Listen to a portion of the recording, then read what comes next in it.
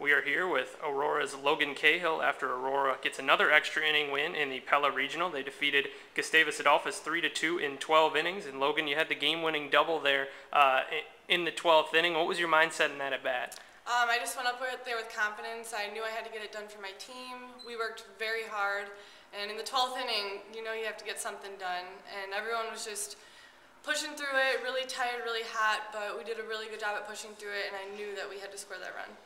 You guys scored two runs earlier in the game, kind of got ahead, you know, uh, and then Gustavus came back and tied it. Uh, what was the mindset of the team, and how'd you guys kind of stay positive after allowing those runs? Um, no one got down. Um, everyone on the bench did a really good job of keeping everyone up and cheering.